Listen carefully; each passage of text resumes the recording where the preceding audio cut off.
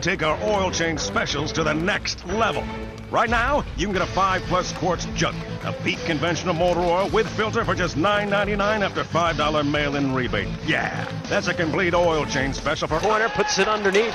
Cornet back up the wall to Yoke. Final eight seconds of the period. Keller shoots through to Markstrom. Save, rebound, score. With four seconds remaining in the period, Mark Arcobello, a power play goal, and Oklahoma City leads 1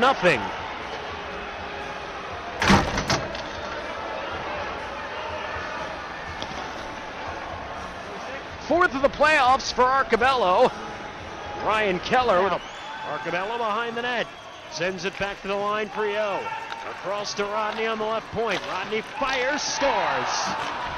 The screen in front of Markstrom. Bryan Rodney makes it 2 0 with the second Oklahoma City power play goal of the night. Bryan Rodney's first goal of these playoffs. Time of the goal 9:26 of the second period. Both goals on the power play, and Oklahoma City's got a 2 0 lead. So the Barons, who could not strike on the power play in the first. Reversed by Kearns up the wall to Cullen.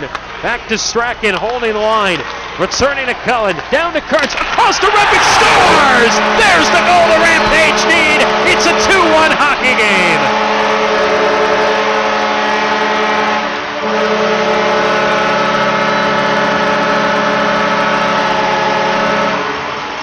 Michael Repik's first goal of the postseason. Set up by Kearns and Cullen. Time the power play goal at 1806. And that might be the power play goal that gets this. It's Patio Cafe, Sideliners Grill, Teka Molino, Tex-Mex Restaurant, and Texas Roadhouse for being a part of the 2011-2012 restaurant team. For delicious food before or after the game, here's a shot as Oklahoma City scores on a rebound attempt. Tremblay's rebound rolls into the open arms across of Ryan Keller, who scores his first goal of the postseason, and Oklahoma City has a 3 1 lead. The net there for Michael Repik. Nearly five minutes gone by in the third. 3 1 Oklahoma City scoring a big goal early in the third. Extend their lead to two. Timmins shoots and scores!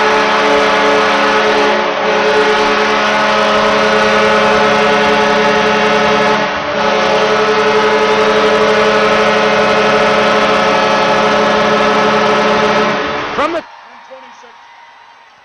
Assist to number 10, Jon Matsumoto. Here's Kearns Number 26, right wing shoots, they score! Cullen from Breck and Kearns, we're tied at three!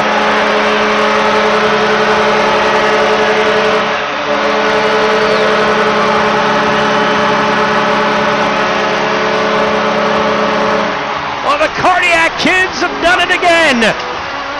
Scott Timmins and now Mark Cullen. They scored. Technical difficulties. We are back. San Antonio and Oklahoma City are tied at three goals apiece. Rampage of as Oklahoma City scores, it's Ryan Keller who puts it behind Jacob Markstrom and in.